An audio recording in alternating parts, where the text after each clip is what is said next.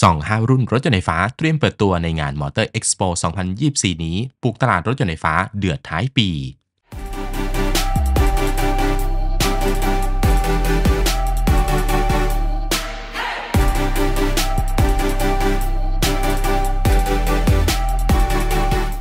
อีกเพียงไม่กี่วันแล้วนะครับสำหรับงานมากรรมแสดงยานยนต์สุดยิ่งใหญ่ช่วงท้ายปีของประเทศไทย อย่างงาน International Motor Expo 2024 ซึ่งเป็นหนึ่งในเวทีที่ค่ายรถยนต์ใช้เลือกเป็นเวทีสำหรับการเปิดตัวรถยนต์รุ่นใหม่ในตลาด แน่นอนว่าในปีนี้ก็เช่นเดียวกันกับทุกๆ ปี กลุ่มรถยนต์ไฟฟ้ายังคงเป็นดาวเด่นที่ถูกจับตามองว่าจะมีรุ่นไหนบ้างสำหรับการเปิดตัวในไทย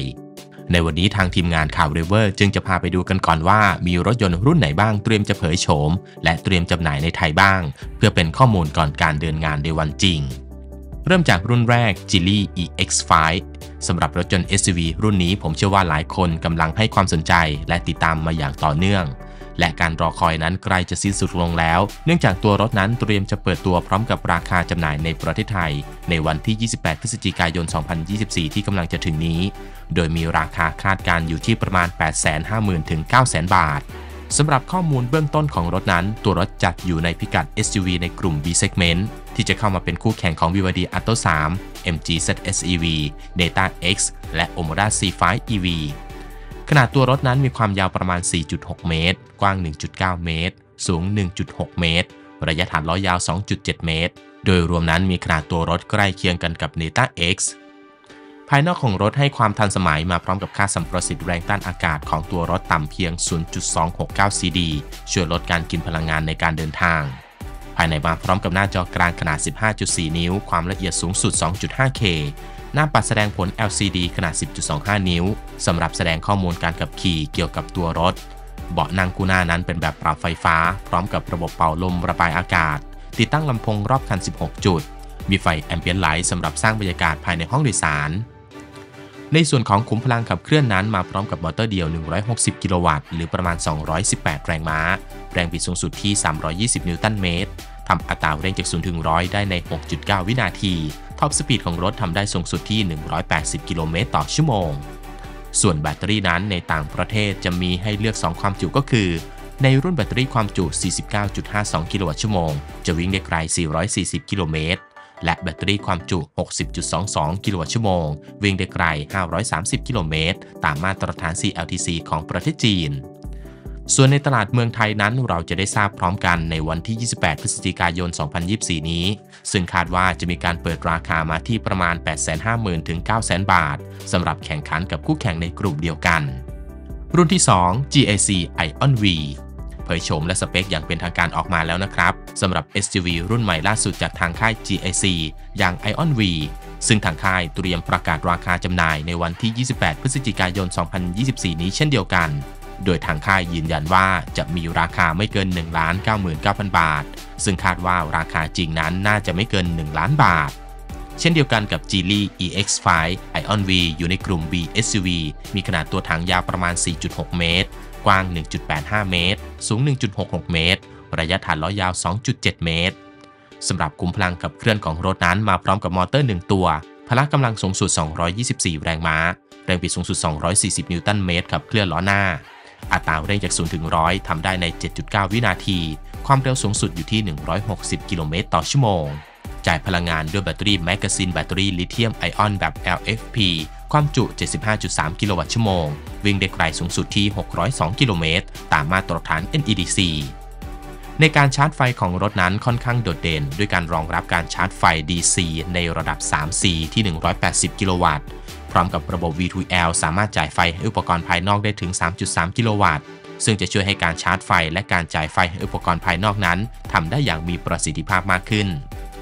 สำหรับการเปิดราคาจำหน่ายอย่างเป็นทางการนั้น จะมีขึ้นในงาน Motor Expo 2024 ในวันที่ 28 พฤศจิกายนนี้ โดยรายละเอียดเพิ่มเติมนั้น เราจะมารายงานให้ได้ทราบกันอีกครั้ง รุ่นที่ 3 Volvo EX90 สำหรับ Volvo EX90 นั้นเป็นหนึ่งในรถยนต์ไฟฟ้า SUV ขนาด 3 แถว 7 ที่นั่ง ที่จะเข้ามาเป็นอีกหนึ่งตัวเลือกในตลาดเมืองไทย ในฐานะรถยนต์ครอบครัวขุมพลังไฟฟ้า 100% จุดเด่นของรถนั้นคือการมาพร้อมกับเอกลักษณ์ของ Volvo ไม่ว่าจะเป็นดีไซน์สแกนดิเนเวียนเรียบหรู ไฟหน้า Pixel LED ทรง Thor's Hammer ปรับลำแสงอัตโนมัติตามสภาพแวดล้อม ดีไซน์เรียบหรู พร้อมเส้นสายตัวถังที่เรียบง่าย ช่วยให้ค่าสัมประสิทธิ์แรงเสียดทานอากาศนั้นต่ำเพียง 0.29 CD เท่านั้น ขนาดของรถนั้นมีความยาวประมาณ 5 เมตร กว้าง 1.96 เมตร สูง 1.74 เมตร และมีระยะฐานล้อยาวประมาณ 2.98 เมตร ขณะที่ระยะ ground clearance นั้นอยู่ที่ 212มิลลิเมตรสำหรับช่วงล่างของรถนั้นจะเป็นแบบถุงลม ปรับความนุ่มนวลได้อัตโนมัติตามสภาพพื้นผิวของถนน ภายในมาพร้อมกับเบาะ3แถว 7 ที่นั่ง พร้อมกับระบบปรับเบาะด้วยไฟฟ้า เบาะแถวที่ 2 และ 3 สามารถปรับพับได้แบนราบ ช่วยให้มีพื้นที่เก็บสัมภาระเพิ่มเติมเมื่อเดินทางไม่เต็มทุกที่นั่ง หน้าจอกลางสำหรับผู้ขับขี่นั้นมาพร้อมกับขนาด 14.5 นิ้ว พร้อมกับ Google Built-in สามารถคำนวณเปอร์เซ็นต์แบตเตอรี่คงเหลือเมื่อถึงจุดหมายปลายทางที่เราตั้งไว้ได้ ช่วยให้เราสามารถวางแผนการเดินทางได้อย่างแม่นยำมากยิ่งขึ้น ขุมพลังของรถนั้นในต่างประเทศ Volvo EX90 จะมี 2 ทางเลือกขุมพลังก็คือ ในรุ่น Twin Motor มอเตอร์ไฟฟ้า 2 ตัวให้พละกำลังรวมสูงสุด 403 แรงม้า แรงบิดสูงสุดที่ 770 นิวตันเมตร เร่งจาก0ถึง100 ได้ใน 5.9 วินาที ความเร็วสูงสุดของรถอยู่ที่ 180 กิโลเมตรต่อชั่วโมง จ่ายพลังงานด้วยแบตเตอรี่ความจุ 111 กิโลวัตต์ชั่วโมงพารถไปได้ไกลสูงสุด 600 กิโลเมตร ต่อการชาร์จไฟเต็มหนึ่งครั้ง ตามมาตรฐาน WLTP ขณะที่รุ่น Twin Motor Performance นั้นจะมาพร้อมกับชุดมอเตอร์คู่ที่ให้พละกำลังแรงมากขึ้นที่ 517 แรงม้า แรงบิดสูงสุด 910 นิวตันเมตร เร่งจาก0ถึง100 ได้ใน 4.9 วินาทีเท่านั้น top speed ของรถเท่ากันที่ 180 กิโลเมตรต่อชั่วโมง แบตเตอรี่ของรถมาพร้อมกับความจุ 111 กิโลวัตต์ชั่วโมง สามารถวิ่งได้ไกลสูงสุด 590 กิโลเมตรต่อการชาร์จไฟเต็มหนึ่งครั้ง ตามมาตรฐาน WLTP ส่วนในเรื่องของระบบชาร์จไฟนั้นรองรับการชาร์จไฟ DC จากสถานีชาร์จความเร็วสูงที่ 250 กิโลวัตต์ สามารถชาร์จไฟจาก 10ถึง80%ได้ในเวลาประมาณ 30 นาที และรองรับการชาร์จไฟ AC ที่ 11 กิโลวัตต์ และเมื่อเป็น Volvo ก็ต้องมาพร้อมกับระบบความปลอดภัยแบบแน่นคัน ตัวรถมาพร้อมกับกล้องมองภาพรอบคัน 8 ตัว เรดาร์คลื่นสั้น 5 ตัว และเซ็นเซอร์อัลตราโซนิกรอบคัน 16 ตัว ช่วยให้ระบบ ADAS ของ Volvo EX90 นั้นทำงานได้อย่างมีประสิทธิภาพทั้งกลางวันและกลางคืน สามารถตรวจจับคนเดินถนนได้ไกลสูงสุดถึง 250 เมตร สำหรับการเปิดตัวอย่างเป็นทางการในประเทศไทยนั้น ยืนยันแล้วว่าจะมีขึ้นในวันที่ 28 พฤศจิกายน 2567 นี้ ที่งาน Motor Expo 2024 ส่วนขุมพลังและสเปคในเมืองไทย รวมไปถึงเรื่องของราคานั้นจะเป็นอย่างไร ผมและทีมงานจะติดตามและนำมารายงานให้ได้ทราบกันอีกครั้ง รุ่นที่ 4 d p o E07 นี่จะเป็นอีกหนึ่งรุ่นรถยนต์ไฟฟ้าที่จะเข้ามาสร้างความแตกต่างในตลาดรถยนต์เมืองไทยด้วยจุดเด่นด้านความอเนกประสงค์อย่างแท้จริง ซึ่ง d p o E07 จะมาพร้อมกับความสามารถในการปรับโฉม ไม่ว่าจะเป็นการเป็นรถยนต์ SUV สำหรับการใช้งานในเมือง และแปลงร่างเป็นกระบะได้เมื่อต้องขนของ หรือต้องการออกแคมปิ้งสุดสัปดาห์โครงสร้างของ d p o E07 นั้นถูกออกแบบบนพื้นฐาน SDA ที่เป็นเอกสิทธิ์ของช้างอัน มาพร้อมกับความยาวตัวถังประมาณ 5 เมตร กว้าง 1.99 เมตร สูง 1.64 เมตร ในขณะที่ฐานล้อนั้นมีความยาวประมาณ 3.1 เมตร ส่วนกาวเคลียร์แลนด์ของรถนั้นอยู่ที่ 227มิลิเมตรโดยตัวรถนั้นสามารถลุยน้ำได้ลึกถึง 60เซนติเมตรขุมพลังขับเคลื่อนของรถนั้นมาพร้อมกับพละกำลังสูงสุดที่ 338 แรงม้าในรุ่นมอเตอร์เดียว และ 590 แรงม้าสำหรับรุ่นมอเตอร์คู่ขับเคลื่อน4ล้อ แบตเตอรี่ของรถมีความจุตั้งแต่ 70-90 กิโลวัตต์ชั่วโมง วิ่งได้ไกลสูงสุดที่ 701 กิโลเมตร ต่อการชาร์จไฟเต็มหนึ่งครั้ง ตามมาตรฐาน CLTC ในเรื่องของเทคโนโลยีนั้นมาพร้อมกับกล้องรอบคัน 11 ตัว เรดาร์คลื่นสั้น 5 ตัว พร้อมกับเซ็นเซอร์อัลตราโซนิกรอบคัน 12 ตัวสำหรับการเปิดตัวในไทยนั้นจะมีขึ้นในวันที่ 28 พฤศจิกายน 2024 นี้เช่นเดียวกัน ซึ่งก็ต้องมาติดตามกันต่อว่าสเปคในไทยทั้งมอเตอร์และแบตเตอรี่นั้นจะอยู่ที่เท่าไหร่ ซึ่งเราจะรายงานอีกครั้งในวันดังกล่าวครับ และรุ่นสุดท้าย MG IM6 EV ตัวท็อปจากทางค่าย MG จากข้อมูลล่าสุดเราได้รับการยืนยันอย่างเป็นทางการจาก MG ประเทศไทยแล้วว่า จะมีการเผยโฉม MG IM6 เวอร์ชันพวงมาลัยขวาในประเทศไทยเป็นที่แรกของโลก ในวันที่ 28 พฤศจิกายน 2024 นี้ โดยรถยนต์ไฟฟ้ารุ่นดังกล่าว ถือได้ว่าเป็นหนึ่งในรุ่นที่น่าสนใจ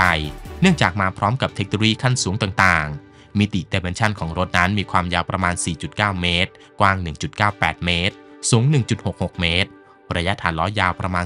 2.95 เมตร ถูกวางตำแหน่งให้อยู่ในกลุ่ม SUV ไฟฟ้าขนาดกลางถึงใหญ่ ทั้งภายนอกและภายในนั้นถูกออกแบบเน้นไปที่ความทันสมัย ห้องโดยสารมีหน้าจอแสดงผลแบบ Ultra Wide Screen ความละเอียด 4K ขนาด 26.3 นิ้ว หน้าจอสั่งงานส่วนกลางขนาด 10.5 นิ้ว ขณะที่หน้าจอสำหรับผู้โดยสารตอนหน้านั้น ติดตั้งข้างกันมีขนาด 15.5 นิ้วติดตั้งลำโพงรอบคัน 20 จุด และไฟ ambient light 256 เฉดสี พร้อมกับหลังคากระจก panoramic เต็มบาน ส่วนในด้านขุมพลังขับเคลื่อนนั้นในต่างประเทศจะมีทั้งระบบขับเคลื่อนที่เป็นมอเตอร์เดียว 314 แรงม้า พร้อมกับแรงบิด 450 นิวตันเมตร จ่ายพลังงานด้วยแบตเตอรี่ความจุ 71 กิโลวัตต์ชั่วโมง วิ่งได้ไกลสูงสุด 560 กิโลเมตร และแบตเตอรี่ความจุ 100 กิโลวัตต์ชั่วโมง วิ่งได้ไกลสูงสุด 760 กิโลเมตรส่วนรุ่นที่เป็นดูอัลมอเตอร์ขับเคลื่อน 4 ล้อนั้น จะให้พละกำลังสูงสุดเพิ่มมาเป็น 787 แรงม้า แรงบิดสูงสุด 800 นิวตันเมตร วิ่งได้ไกลสูงสุด 702 กิโลเมตร ด้วยแบตเตอรี่ความจุ 100 กิโลวัตต์ชั่วโมงสำหรับการเผยโฉมในไทยครั้งนี้ MG IM6 นั้น คาดว่าจะเป็นการเผยโฉมคันจริงก่อน ขณะที่ราคาจำหน่ายและการเปิดตัวทำตลาดนั้น น่าจะเกิดขึ้นอีกครั้งในช่วงปีหน้า อย่างไรก็ตามเมื่อเป็นการเผยโฉมเวอร์ชันพวงมาลัยขวาแล้ว การทำตลาดนั้นก็น่าจะมีขึ้นต่อจากนี้ในเวลาอันใกล้อย่างแน่นอน และทั้งหมดก็เป็น 5 รุ่นรถยนต์ไฟฟ้าที่น่าสนใจที่ยืนยันแล้วว่า เตรียมจะเปิดตัวในประเทศไทยช่วงปลายเดือนนี้อย่างแน่นอน มีรุ่นไหนที่โดนใจหรือว่าเล็งรุ่นไหนไว้หรือเปล่า คอมเมนต์มาพูดคุยกันหน่อยนะครับ